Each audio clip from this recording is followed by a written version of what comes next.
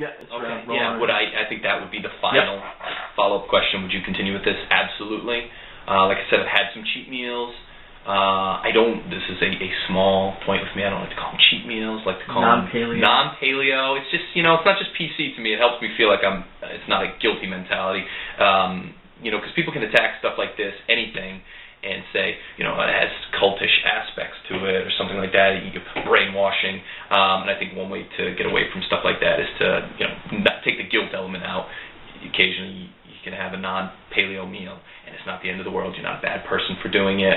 Uh, you may be interested to find out that those meals, uh, especially when they happen infrequently, uh, how you feel afterwards might be an indicator to you whether it's a good idea or not. I found a lot of them, especially drinking, even just a couple of drinks. I have not felt so good the next day or four or five hours later. It usually hasn't been worth it. Uh, the burgers and things that I I didn't crave, but I thought that I craved, and I just wanted to try them. They just um, they didn't taste as good as I thought they would. They didn't make me feel as good afterwards, which is not to say that I would eat paleo for the rest of my life 100%, but would I continue doing this uh, with a very high degree of, uh, what's the word I'm looking for, um, conforming with, with the diet? Absolutely. I definitely, I definitely would stick with it.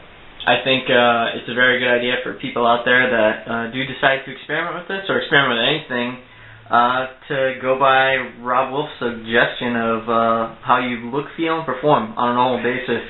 Um, I, there's, there's such a practicality that gets lost in doing a lot of these things, Right. and you definitely don't want to get caught up in the cultish aspect of Right. any sort of diet, Anything in life generally anything, is not a good idea. any, any sort of min-maxing beyond the point where you are benefiting from is just a waste of time and frustration. Uh, Right. You shouldn't let any one aspect of this get you hung up.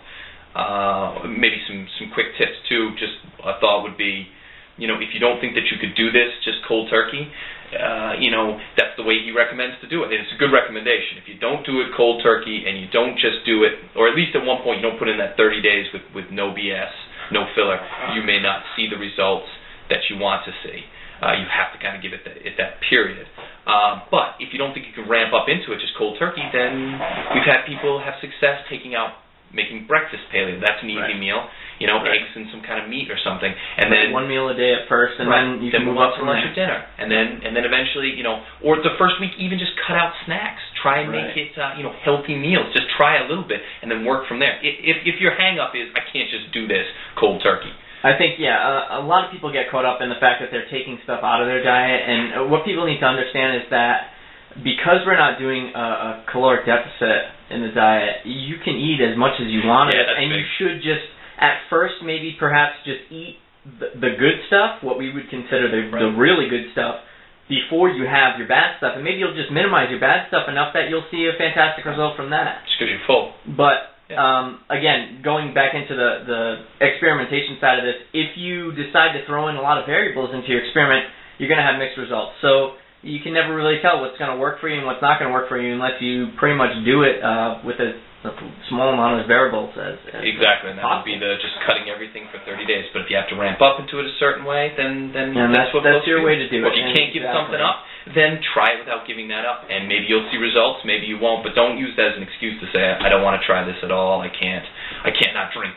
Uh, you know, at all. Uh, then have a drink or something. Have a cheat meal. Do, but but give it a try. Give it a, an honest try. And the other thing too, I would say, is you just need to be a little organized and plan things out in terms of uh, I would cook lunch sometimes with my breakfast, so I would not have to worry about it. You don't want to be caught at lunchtime trying to find a paleo meal out somewhere, panicking, starting to crash and burn, and then you will blame the program for it. That is just you know you not being organized and planning out your meals. You do need to plan a little bit. Um, so going into uh, planning a little bit more, um, it's like the old adage of when you fail to plan, you plan to fail. So the this is not widely accepted yet. The paleo diet is not an easy thing to access on the road unless you go to a supermarket and you know exactly what fresh fruits and vegetables uh, and and Get a rotisserie chicken or meat something. perhaps um, that you can get. Terrible. Um, so therefore, you you do it does require a little bit more planning on the side. Perhaps you do want to cook like maybe two meals, maybe the day's worth of meals, and just kind of sort it out so that you can have it on the go.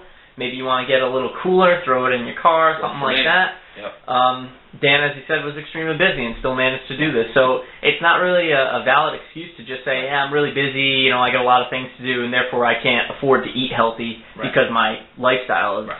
Because of money or my lifestyle, you know. Yeah, if you can't afford the grass-fed meat, then then don't then don't do that. I mean, you can't use that as an, you can sabotage yourself doing this, like you can sabotage yourself with anything else. If you Right. if you want to fail, you can make yourself fail, and then you can blame anything else other than yourself. But you're the only one that knows whether you actually put in the effort and did it the way you should have. I think another thing that, that is worth mention, mentioning too on this is if you are someone that is only eating to satiety levels and say you're not training very hard, or maybe you're not training at all, maybe you're just doing diet as a diet thing on the side. Um, if you're just eating to satiety levels, this will absolutely make you more satisfied than just eating a what would be considered a typical American diet at this point.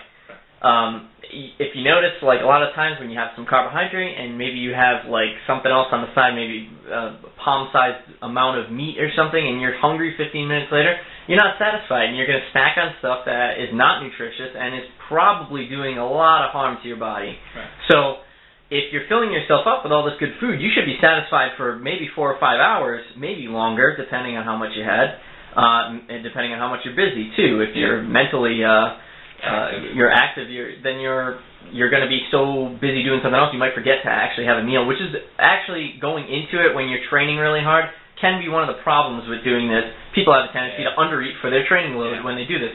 Uh, Dan, we had to count calories at one point to make sure right, that I to was make sure you were getting in enough because you were Yeah, definitely I wasn't limited by. I wasn't told to limit it. I was told to eat as much as I wanted. You do have to keep track of. Make sure you're eating enough. Right. Because there are so many different satiety hormones that are released when you have all this kind of food.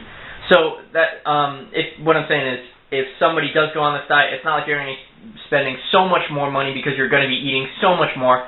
You are going to have a tendency to be satisfied with less than what you would expect to eat. And to tie it into to something you mentioned earlier about not making it all about what you take out or what you can't have in the diet, you can think about the stuff that you're adding. You're adding food that's healthier and better for you, and in the end, will satisfy you more and taste better to you. Uh, so I mean, you know, it's a you said it's kind of like a cheesy way of looking at it, but it's true. It's true. You know, you're cutting out things that afterwards you look back and say, were they really doing more harm than good? You know, because you do have that where people will be hungry 15 minutes or you know an hour later, half an hour later, and then your choice is either uh, have some more chips or something, or have another um, nutrition bar, or do I just go hungry until uh, you know until the clock says it's time for another meal? And either way is not optimal. That is uh, that's a, a good thing to mention too. Is uh, a lot of people are supplementing their meals with like some kind of meal replacement nowadays because they're busy, and they're on the go and everything, and that is just it's so non-intuitive to Mm. do that. I mean, if I were to ask anybody, I would almost certainly uh, think I would see the trend that people would say to eat real food over not real food Yep. more often than not. I mean, uh, most I'm pretty sure most people would agree that having some sort of supplementation bar, uh, like a nutrition bar or something like that, it's Some not of you use that term loosely, nutrition bar. Yeah, exactly. The glorified candy bar. I've been there. that like work. such as the Snickers bar, which is literally a candy bar, but they call it marathon for whatever reason. Hope we don't get sued by Snickers.